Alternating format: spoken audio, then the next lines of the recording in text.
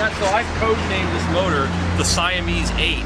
And it's the first motor of its kind in the world where they're joined at the head. What's important about two motors acting as one is you can play around with how you wire them. Do you wire them like this? Do you wire them like this? And that changes the torque and the horsepower level. This is the world's most powerful road-going DC motor controller, the Zilla. It's like a big dimmer. And it's controlled by the computer interface, affectionately known as the hairball.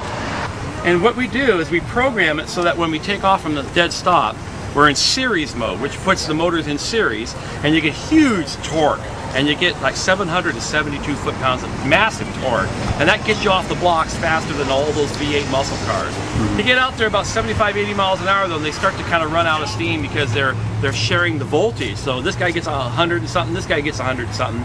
At that point, the hairball says, you know what, we're not going as fast as we need to be, so it shuts the whole car down, inspects everything through its brain, everything okay, and within 300 milliseconds, it changes the wiring of the motors and puts them in parallel and it slams home full power and it actually breaks the tires loose and now you've got double the horsepower and the car starts accelerating.